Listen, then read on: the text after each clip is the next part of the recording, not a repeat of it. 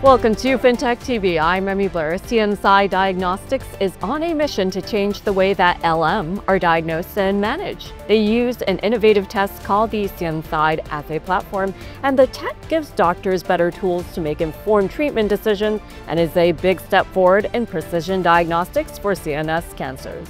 And just recently, United Healthcare approved reimbursement for CNSide. Well, joining me today at the New York Stock Exchange is Dr. Mark Hedrick, President and CEO of Plus Therapeutics. Doctor, thank you so much for joining me. Hi, Remy. Good morning. Good morning. Well, first and foremost, for our audience, explain exactly what LM is. So, there's actually an epidemic of this thing called LM or leptomeningeal metastases. And as as doctors and, and healthcare providers, we're doing a better and better job taking care of patients with breast cancer, lung cancer, melanoma. And those survivals are getting better, but those cancer cells will, will escape the breast or escape the lung and get one or two cancer cells in the fluid around the brain. And patients, once they're diagnosed, live about four weeks without treatment. About half patients go to hospice. And then the ones that get treated are at last maybe four months on average, but there are no approved drugs. So there's a problem therapeutically, um, but there's also a problem diagnostically. And so that's where CNSide comes in. It's a one stop, four in one test and con- confirms the diagnosis. It tells you whether your disease is getting worse or better. It tells you what drug to use or what drug not to use. And it tells you if you're getting better after treatment. Yeah, and we know that time is of the essence when we're talking about diagnoses. So tell us how what you're doing over at CNSide, the mission, how does it fit into the overall strategy over at Plus Therapeutics? Yeah, so uh, CNSide is a subsidiary of the parent company Plus Therapeutics. Um, and so our sole mission in life is to bend the curve on survival for brain and central nervous system cancers. Why is that so critical? Um, if you go back over 40 years, you take all cancers that aren't the brain and aren't the spinal cord, there's about a 300% improvement in survival. 40 years, everything's getting better except brain cancers and central nervous system cancers. The survival curves are flat. And so to bend that curve, uh, what we're taking a novel approach. We're not doing the same way people did it for four years. We're, we're throwing out the playbook and we're starting over. And basically, we're building a tech agnostic company devoted to bend the curve, and that's looking at new diagnostics like CNSide, new therapeutics like targeted radiotherapeutics.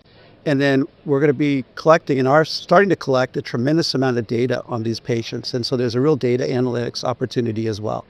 Yeah, and tell us a little bit more about the opportunity here at the New York Stock Exchange. We might focus on data in terms of what it means for investments, but when we're talking about something as crucial as healthcare, mm-hmm. Give us more insight into this. Well, if I could take a step back from CNSide for a moment, and I'll, I'll, come back to it, but we have a targeted radiotherapeutic that's a drug that delivers all of its radiation to the tumor and then it's absorbed by the body. You don't get any untoward effects elsewhere in the body.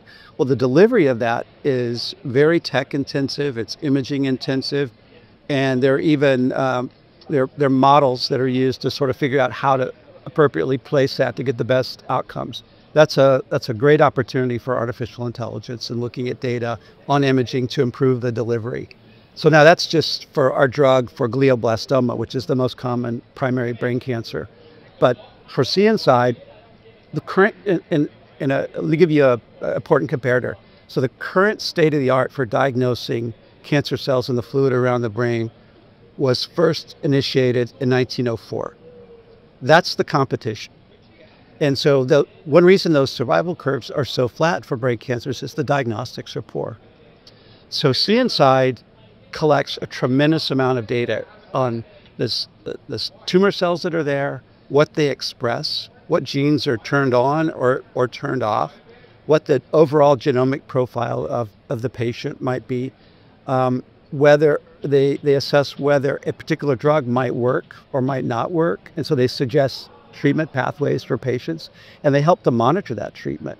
So that's a tremendous amount of data coupled with other data we get from imaging and from our therapeutic. And that really kind of goes into a bit of a flywheel where We have diagnostic information, we have therapeutic information, we evaluate that, and that tells us what to do with the diagnostic and then tells us what to do with the therapeutic.